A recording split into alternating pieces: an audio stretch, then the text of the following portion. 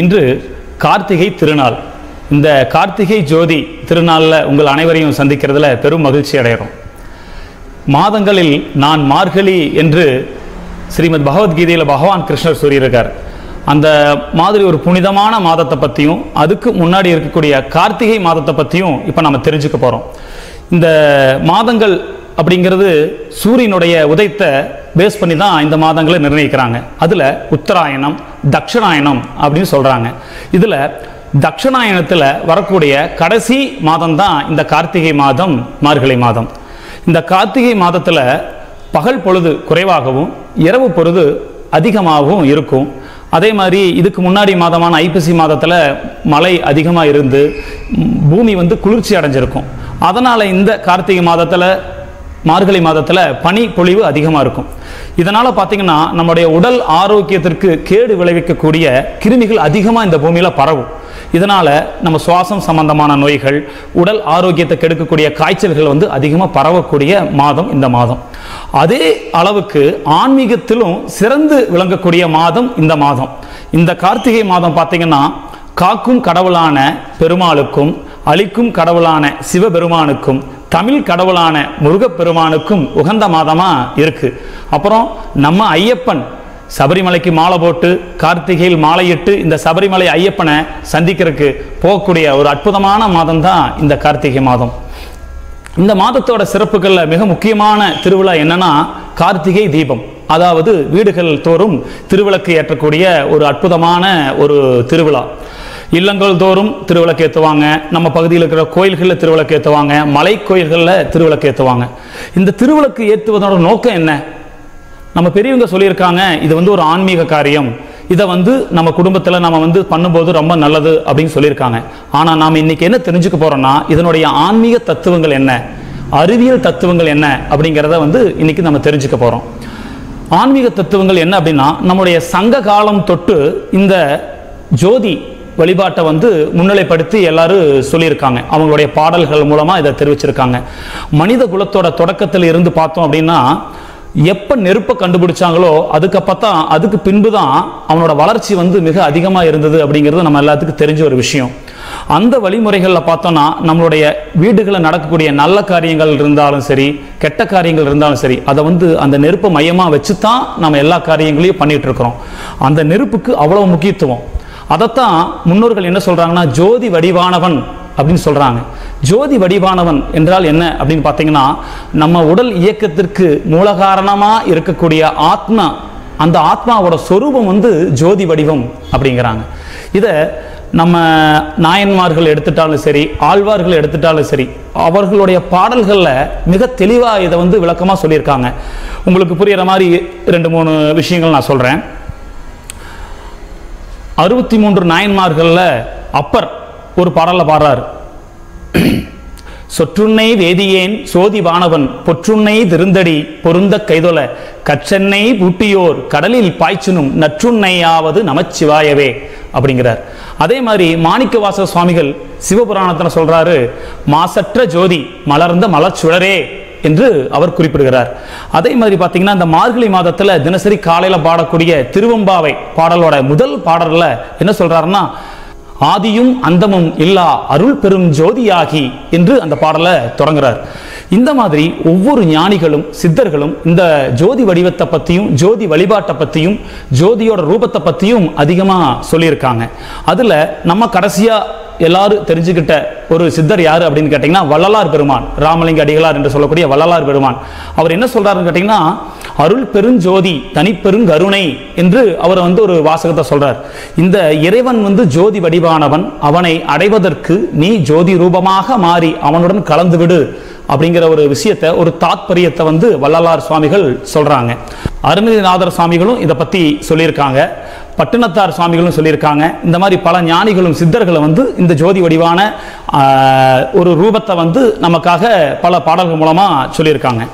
இந்த ஜோதி அன்னைக்கு நம்ம வந்து வீடுகள் தோறும் விளக்கேற்றுறோம் இந்த விளக்கோட தாத்பரியம் என்ன அப்படின்னு பார்த்தோம்னா ஒரு மண் விளக்கு ஏற்றலாம் இல்லை ஒரு குத்து விளக்கு ஏற்றலாம் அந்த விளக்கில் வந்து நல்ல எண்ணெயை ஊற்றணும் அதில் வந்து பஞ்சு திரியிட்டு அதன் மூலமாக ஒரு தீபத்தை நாம் வந்து ஏற்றுறோம் இந்த தீபத்தோட நோக்கம் என்ன அப்படின்னா நம்ம வீட்டுக்குள்ள இருக்கக்கூடிய இருள் அகன்று ஒரு வெளிச்சத்தை கொடுக்கக்கூடிய தன்மை.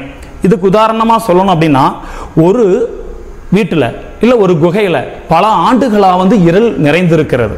அந்த ஒரு அறைக்குள்ளே பார்த்தீங்கன்னா ஒரே ஒரு நொடியில் ஒரு தீபத்தை ஏற்றினோம்னா வெளிச்சம் வந்து பிரகாசம் அடையும். இதனுடைய நோக்கம் என்ன? ஆயிரம் ஆண்டுகளாக இருந்த இருளும் ஒரு நொடி பொழுதில் வெளிச்சம் ஏற்பட்டு ஞானம் ஏற்பட்டு விடும் என்பதன் தாத்பரியத்தை தான் பெரியவங்க என்ன சொல்றாங்கன்னா ஜோதி வடிவாக ஜோதியை வணங்கி இறைவனை அடைந்து கொள்ளுங்கள் என்ற ஒரு தாத்பரியத்தை நமக்கு எல்லாம் கொடுத்துருக்குறாங்க. இதில் அறிவியல் பூர்வமா அப்படின்னு பார்த்தோம் அப்படின்னு கேட்டிங்கன்னா இந்த காலகட்டத்தில் நோய் கிருமிகள் அதிகமாக பரவுறதுக்கு காரணமாக இருக்கிறது பனி. பனிப்பொழிவு அதிகமாக இருக்கும். காற்றில் வந்து ஈரப்பதத்தோட அளவு அதிகமாக இருக்கும். நார்மலாக வந்து நம்ம சுவாசிக்கும் போது நமக்கு தேவையான ஆக்சிஜன் அதாவது பிராணவாயு அதிகமாக தேவைப்படும். இந்த பனிப்பொழிவு அதிகமாக இருக்கிறதுனால நம்மளுடைய சுவாசத்துக்கு தேவையான ஆக்சிஜன் கிடைக்காது இந்த காற்றுல அப்போ என்ன அதிகமாக இருக்கும்? ஈரப்பதம் அதிகமாக இருக்கும். அப்போது நம்ம வீட்டில் தூங்கும் போதோ நம்ம வீட்டுக்குள்ளே நம்ம வந்து மற்ற வேலைகளை செய்யும் போது நமக்கு தேவையான ஆக்சிஜனும் பிராணவாயு கிடைக்காது அப்படிங்கிறதுக்காக முன்னோர்கள் ஏற்படுத்தி இருக்காங்க கார்த்திகை முதல் நாள்ல இருந்து வீட்டை சுத்தியும் கார்த்திகை ஜோதி அதாவது நல்ல எண்ணெய் தீபத்தை ஏத்துங்க வீட்டு வாசப்படியில் ஏத்துங்க. இதை ஏற்றும் போது எப்படி ஆரோக்கியத்துக்கு இது பயன்படும் அப்படின்னு நீங்க கேட்கலாம். ஒரு தீபம் எரியுது ஒரு நெருப்பு எரியுதுன்னா அதுக்கு வந்து என்ன தேவை அப்படின்னா ஆக்சிஜன் தேவை. ஆக்சிஜனை எடுத்து தான் ஒரு நெருப்பு எரிய முடியும். அப்போது ஒரு தீபம் எரியும் போது அதை சுற்றி இருக்கக்கூடிய எல்லா விதமான ஆக்சிஜனை எடுத்து எரிஞ்சாலும் இந்த நல்லெண்ணெயோட தன்மை என்ன அப்படின்னா அங்கே இருக்கக்கூடிய கார்பன் டை ஆக்சைடையும் எடுக்குது. அதுக்குள்ளே இருக்கக்கூடிய நீராவி சொல்கிறோம் இல்லைங்களா இந்த பனி அதாவது காற்றில் கறந்திருக்கக்கூடிய நீர்ம பொருட்களையும் இழுத்து அதை ஆவியாக்கி மேலே தள்ளுது. அப்போது நம்ம வீட்டுக்குள்ளே இருக்கக்கூடிய இருள் நம்ம வீட்டுக்குள்ளே இருக்கக்கூடிய அசுத்தமான கிருமிகள் நம்ம வீட்டுக்குள்ள இருக்கக்கூடிய தேவையில்லாத விஷ வாயுக்களை அதை எடுத்து எரித்து பஸ்மமாக்கி மேல் நோக்கி அனுப்பும். அந்த மாதிரி அனுப்பும்போது அதிகப்படியான ஆக்சிஜன் அதுக்கு தேவைப்படும். அந்த ஆக்சிஜன் எங்கிருந்து இருக்கும்? வெளிய பகுதியில இருந்து ஆக்சிஜனை வந்து அது என்ன? எடுத்து எடுத்து எடுத்து எடுத்து எரிஞ்சிட்டே இருக்கும். ஒரு தீபம் ஏற்றுறதுக்கே எவ்வளவு அப்படின்னா நம்ம வீட்டை சுற்றி நூற்றுக்கணக்கான தீபங்களை ஏற்றும் போது நம்ம வீட்டுக்குள்ள ஆக்சிஜன் மட்டும்தான் அதிகமாக இருக்கும் இந்த பிராணவாயு மட்டும்தான் அதிகமாக இருக்கும் இதனால நம்ம உடல் ஆரோக்கியம் ஏற்படும். குறிப்பாக பார்த்தீங்கன்னா நம்ம பாரம்பரிய மருத்துவத்தில் இந்த நல்லெண்ணெயை வந்து அதிகமாக பயன்படுத்துவாங்க. மருத்துவ பொருளாக அதாவது சுவாசம் சம்பந்தமான பிரச்சனைகளுக்கு குடல் சம்பந்தமான பிரச்சனைகளுக்கு இருதயம் சம்பந்தமான பிரச்சனைகளுக்கு வந்து நல்லெண்ணெயை அதிகமாக பயன்படுத்துவாங்க. இந்த நல்ல நல்லெண்ணெய் அப்படிங்கிறது வந்து தினசரி அதிகாலை ஒரே ஒரு ஸ்பூன் குடிச்சா போதும். நீ ஆரோக்கியமாக இருப்ப அப்படின்னு சித்த மருத்துவர்கள்லாம் சொல்கிறாங்க அந்த நல்லெண்ணெயை எந்த ரூபத்தில் வேணால் நாம் எடுத்துக்கலாம். அதாவது தினசரி அதிகாலையில் குடிக்கலாம். இல்லை தினசரி அதிகாலை வேலையிலும் மாலை வேலையிலும் வீட்டுக்குள்ளே நல்லெண்ணெய் தீபம் ஏற்றினாலே போதும். அந்த எண்ணெயை குடிக்கக்கூடிய அந்த பலன் நம்ம வீட்டுக்குள்ளே இருக்கிற எல்லாத்துக்கும் கிடைக்கும். இந்த ஒரு தாத்பரியம் அதில் இருக்குது இந்த ஆரோக்கியத்துக்காகவும் ஆன்மீகத்திற்காகவும் நம்மளுடைய கலாச்சாரத்தில் உள்ள ஒவ்வொரு விஷயங்களும் வந்து மனுஷனுக்காகவும் அவனோட ஆரோக்கிய ஆரோக்கியத்துக்காகவும் தான் உருவாக்கப்பட்டது. இதில் இன்னொரு சிறப்பு என்ன அப்படின்னு கேட்டிங்கன்னா ஒரு மகாலட்சுமி அப்படின்னு சொல்கிறாங்க மகாலட்சுமி அப்படிங்கிறவங்க வந்து செல்வத்துக்கு அதிபதி. மகாலட்சுமி அவங்க வந்து மகாலட்சுமி மாதிரிங்க அப்படிங்கிறாங்க. எடுத்துக்காட்டுக்கு பார்த்தீங்கன்னா மகாலட்சுமி வந்து எங்கெங்கே வசிக்கிறாங்க அப்படின்னு பார்த்தோம்னா அவங்க வசிக்கிற இடங்கள்லேயே அதிகமாக முக்கியத்துவம் கொடுத்த இடம் வந்து குத்துவிளக்கு. அதாவது திருவிளக்கில் தான் மகாலட்சுமி வந்து குடியிருக்கிறாங்க அப்படிங்கிறாங்க. நம்ம வீட்டில் வந்து குத்துவிளக்கை வச்சு தினசரி அதிகாலை மாலை வேலைகளில் வந்து ஏற்றும் போது மகாலட்சுமியே அங்கே வந்து அவங்க குடும்பத்தில் இருக்கக்கூடிய செல்வ குறைபாடுகள் ஆரோக்கிய குறைபாடுகள் எல்லாத்தையும் போக்கி நல் அருள் புரிவாங்க. இந்த குத்து விளக்கை வந்து மூணு பகுதியாக பிரிப்பாங்க. அதனோட கீழ் பகுதியை பிரம்மாவும் நடுப்பகுதியை விஷ்ணுவும் மேல் பகுதியை சிவனும் கொடிக்கொண்டதா சொல்கிறாங்க அப்போது அந்த ஒரு குத்து விளக்கு தினசரி வழிபாடு பண்ணினாலே நம்மளுடைய குடும்பம் சுபிச்சமாக இருக்கும் ஆரோக்கியமாக இருக்கும் அப்படிங்கிறாங்க. இந்த நெருப்பு அப்படின்னு சொல்றத அறிவியல் பூர்வமாக பார்த்தோம் அப்படின்னா எந்த ஒரு இயக்கத்துக்கும் ஒரு வெப்பம் தேவை. ஒரு இயக்கத்துக்கு வெப்பம் அப்படின்னா வெப்பம் என்ன? ஹீட் இந்த ஹீட் என்ன? எடுத்துக்காட்டுக்கு ஒரு பஸ் போகுது ஒரு பைக் போகுது ஒரு லாரி எது போனாலும் அது பெட்ரோலியம் ஒரு பெட்ரோலை ஊற்றுறோம் அதை எரிக்கிறோம் அதை எரிக்கும் போது வரக்கூடிய வெப்பத்தினால அந்த என்ஜின் ரன் ஆகுது. இது வந்து சயின்ஸ் அறிவியல். அப்போது இது என்ன சொல்கிறாங்க அப்படின்னா ஒரு வேதி வினை நடக்கிற இடத்துல வெப்பம் தேவை அப்படின்னு அறிவியல் விஞ்ஞானிகள் சொல்கிறாங்க அப்போது ஒரு இயக்கத்திற்கு ஒரு வெப்பம் தேவை. இதையே மெய்ஞானிகள் ஆகிய சித்தர்களும் ஞானிகளும் என்ன சொல்கிறாங்கன்னா இந்த உடல் இயக்கத்திற்கு தேவை ஒரு வெப்பம். அந்த வெப்பம் எங்க இருக்கு ஜோதி ரூபமான அந்த ஆத்மாவில் இருக்கு அப்படிங்கிறாங்க. அதைத்தான் நம்ம முன்னோர்கள் ஜோதி வடிவானவன் மாசற்ற ஜோதியே மலர்ந்த மலர் சுடரே என்று குறிப்பிடுகிறார்கள். இதிலிருந்து நம்ம புரிந்து கொள்ள வேண்டியது என்னவென்றால் நம்மளுடைய தர்மம் சாதாரண ஒரு விஷயத்தை மட்டும் நமக்கு கொடுக்கவில்லை. நம்முடைய ஹிந்து தர்மத்தில் நாம் செய்யக்கூடிய ஒவ்வொரு விஷயங்களும் நமது ஆரோக்கியத்திற்காகவும் ஆன்ம முன்னேற்றத்திற்காகவும் கொடுக்கப்பட்டிருக்கிறது. எடுத்துக்காட்டுக்காக நம்ம பஞ்சபூத சக்திகள் சொல்றோம். அண்டத்தில் உள்ளதெல்லாம் இந்த பிண்டத்தில் உள்ளது. அதாவது இந்த பிரபஞ்சத்தில் என்னென்ன சக்திகள் இருக்கோ எல்லா சக்தியும் நம்ம உடம்புல இருக்கும். இந்த உடலே வந்து பஞ்சபூதத்தால் ஆனது அப்படிங்கிறாங்க. ஆனால் பஞ்சபூதத்தில் வந்து நீர் நெருப்பு ஆகாயம் காற்று பூமி இந்த அஞ்சு இருக்கு. இதில் ஏன் மாணிக்க வாசக சுவாமிகள் வந்து மாசற்ற ஜோதியே அப்படின்னு சொல்கிறாரு மாசற்ற ஜோதி அப்படின்னு சொன்னால் அதில் ஒரு உள்ள அறுத்து இருக்கு. அவர் குறிப்பிட்டதில். இப்போ ஒரு பஞ்சபூதத்தில் நீர் எடுத்துக்கிட்டோன்னா அது வந்து நீர் வந்து மாசுபடும். காற்று மாசுபடும். வானம் மாசுபடும். பூமி மாசுபடும். இப்போ இருக்கக்கூடிய நம்மளோட கலாச்சார சீர்கேட்டினாலும் வேதியியல் பொருட்கள் பயன்பாட்டினாலும் அது மாசுபடத்தான் செய்யும். ஆனால் மாசற்ற ஜோதியே அப்படின்னா இந்த நெருப்பு இந்த ஜோதி இந்த தீபம் என்னைக்கு மாசுபடாது. ஏன் அப்படின்னா அவர் எத்தனை மாசுக்கள் வந்தாலும் அதை ஏற்றுக்கொண்டு அதை பஸ்வமாக்கி இரையாக்கி இறைவனிடத்தில் அர்ப்பணித்து பரிசுத்தமாக இருப்பார். அதனால தான் நம்ம பஞ்சபூத சக்திகளில் அந்த நெருப்பை அந்த ஒரு ஜோதியை அந்த ஒரு தீபத்தை தெய்வமாக வணங்கணும் அப்படின்னு பெரியவங்க சொல்லியிருக்காங்க. நம்ம ஆத்மா அப்படின்னு சொல்கிறோம் ஆத்மான்னா என்ன? ஆத்மாவை எப்படி உணர்றது அப்படிங்கிற கேள்வி வரலாம். அந்த ஆத்மாவுக்கும் ஜோதிக்கும் திருவிளக்குக்கு என்ன சம்பந்தம் அப்படின்னு ஒரு கேள்வி வரும். இப்போ நம்ம உடலோட இயக்கத்திற்கு எப்படி வெப்பம் தேவையோ அதுபோல உடலின் இயக்கத்திற்கு எந்த அளவுக்கு வெப்பம் தேவையோ அந்த ஆன்ம ஞானத்திற்கும் வெப்பம் தேவை. யோக மார்க்கத்தில் என்ன சொல்கிறாங்கன்னா ஒரு உடலில் இருக்கக்கூடிய குண்டலினி சக்தியை மேல் கொண்டு வரும்போது அதாவது சக்கரங்கள்னு சொல்லுவாங்க. ஒவ்வொரு சக்கரங்கள் வழியாக சகசராரத்தை கொண்டு வந்து சேர்த்தும்போது நம்ம வந்து ஞானம் அடைஞ்சிடலாம் நாம் வந்து தெளிவடைஞ்சிடலாம் அப்படின்னு சொல்கிறாங்க ஆனால் அதுக்கு என்ன தேவைன்னா நம்ம வந்து சரியான முறையில் யோகாசன பயிற்சியும் பிராணாயாம பயிற்சியும் பண்ணணும். இந்த பிராணாயாம பயிற்சி எதுக்கு பண்ணுறோம் பிராணயா பிராணயாமம் பிராணாயாமம் பண்ணும்போது நம்ம உடல் காற்றுனால வெப்பமடையும். வெப்பமடையும் போடியும் குண்டலினி சக்தி தூங்கிட்டு இருக்கக்கூடிய அந்த குண்டலினி சக்தி ஹீட்னால மேல் நோக்கி வரும். ஒவ்வொரு சக்கரங்கள் வழியாக சகசிராரத்தை அடையும்.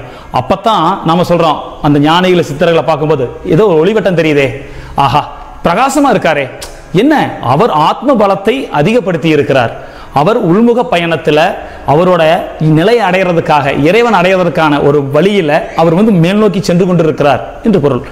நம்மளுடைய வாழ்க்கை முறையில் எல்லா இடத்துலையுமே இந்த நெருப்பு அப்படிங்கிற அந்த ஜோதியை வந்து பயன்படுத்துகிறோம் ஒரு திருமண காரியமாக இருக்கட்டும். அங்கே யார் ஒரு ஒரு ஐ- ஒரு சுவாமி வர்றாரு ஒரு ஐயர் வர்றாரு அவர் வந்து ஹோமகுண்டம் வளர்த்துறாரு. அது வந்து நெருப்பு சாட்சியாக இருவரையும் என்ன பண்ணுறாங்க ஒரு இல்லற வாழ்க்கையில் உள்ள அனுப்புறதுக்கான ஒரு முதல் படியை நெருப்பு சாட்சி அதாவது ஒரு அக்னி சாட்சியாக அதை வந்து நம்ம பண்ணுறோம் ஒரு ஹோமத்தின் மூலமாக அதே மாதிரி ஒரு வீடு கட்டுறோம். அந்த வீட்டில் பார்த்தோம் அப்படின்னு கேட்டிங்கன்னா முதல்ல கணபதி ஹோமம் போடுறோம். அந்த கணபதி ஹோமத்தில் நெருப்புக்கு அந்த அக்னி பகவானை வழிபட்டு அவனோட ஆசீர்வாதத்து மூலமாக தான் நம்ம என்ன பண்ணுறோம் எல்லா தொழிலையும் தொடங்குறோம்.